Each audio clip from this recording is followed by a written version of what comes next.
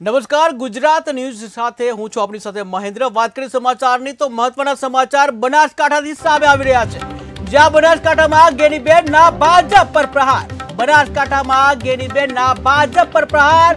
Paper ફોડવા મામલે કર્યા ભાજપ પર પ્રહાર. આપણા દીકરા, દીકરીઓ ગમે તેટલી મહેનત કરે, પરીક્ષા કેન્દ્ર સુધી પરીક્ષા આપવા દૂર જાય.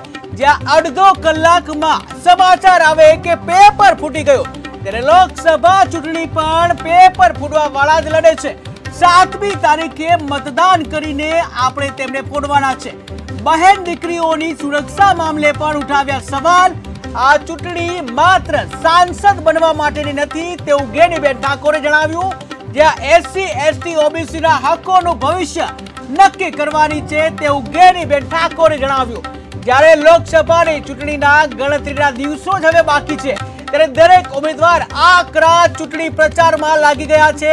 આક્ષેપ પ્રતિ આક્ષેપ ભાજપ કોંગ્રેસ બંને એકબીજા પર કરી રહ્યા છે. ત્યારે બનાસકાંઠામાં ગેનીબેનના ભાજપ પર આકરા પ્રહાર કર્યા છે.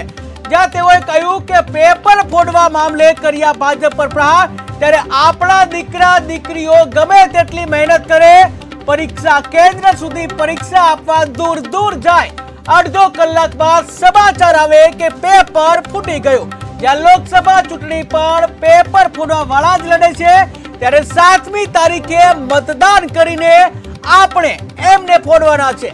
જ્યાં બહેન દીકરીઓની સુરક્ષા મામલે પણ સવાલ ઉઠાવ્યા, ત્યારે આ ચૂંટણી માત્ર સાંસદ બનવા માટેની નથી, તેવું ઉમેદવાર ગેરીબેન ઠાકોરે જણાવ્યું.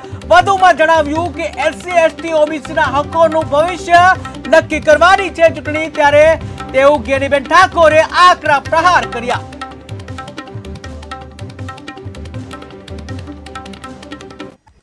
આ ગુજરાત સરકારમાં છેલ્લા ત્રીસ વર્ષથી તમે જુઓ છો કે આપણો દીકરો, દીકરી ગમે એટલા ભણે, એને ગમે એટલું ઊંચું મેરિટ આવે, પણ જ્યારે એને પરીક્ષા આપવાની પરીક્ષા આપવા જવાની હોય બીજા જિલ્લામાં, અને માંડ માંડ રખડીને પરીક્ષાના કેન્દ્રએ પહોંચે, અને ત્યાંથી અડધો કલાકમાં સમાચાર મળે કે પેપર ફૂટી ગયું છે.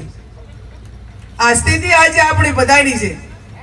અને હવે તો આ લોકસભાની ચૂંટણી પણ પેપર ફોડવા વાળા જ લડે છે. અને પેપર ફોડવા વાળા ચૂંટણી લડે છે ત્યારે એમને સાતમી તારીખે મતદાન કરીને એમને ફોડવાના એ આપણી સૌનો પોતાનો